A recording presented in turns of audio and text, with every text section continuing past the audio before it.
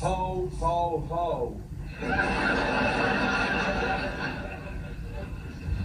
It's your last Christmas. Tell Santa what kind of tombstone you want. I said once around the block. Once around the block. Where were you? Jesse, I can explain. Once. You know what once means? Do you know what once means? Hi, girls. Oh, yeah, like that old trick's supposed to work. Hi, Uncle Jesse. You? I was just uh, welcoming home Joseph. Girls, let's give the boys a moment to get reacquainted. Ooh.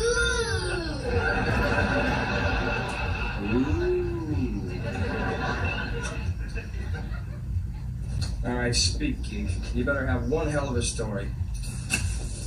Jesse, as soon as I left the driveway, your spirit entered my body.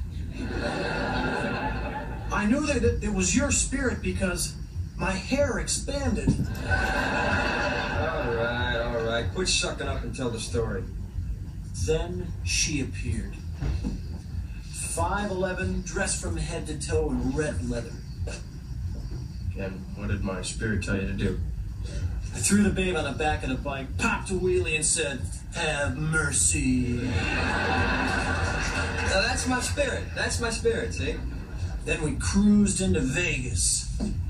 Checked into Caesars, hit the crap tables. Hour and a half later, I'm up $14,000. $14,000? That's a lot of money. You're a pretty girl.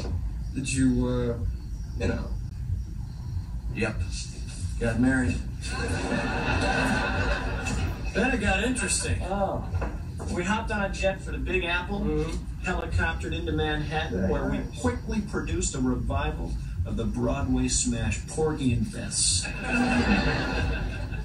you don't believe a word of this, do you? That is silly. Well, let's give the truth a whirl. Okay.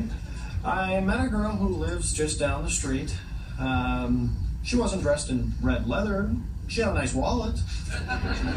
so we went to her place, uh, where I did win $14,000 in Monopoly money. then I fell asleep on her couch. You believe that, don't you? I have to. You put a mile and a half on the bike.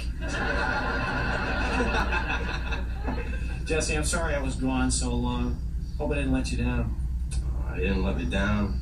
Uh, maybe you didn't have a wild and crazy adventure, but you had a cute little adventurette.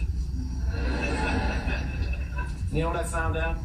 No matter what I wear or what I'm riding on, I'm still gonna be Joey. And you know something? That's okay. Damn right, it's okay. All right, Big Joe Stud.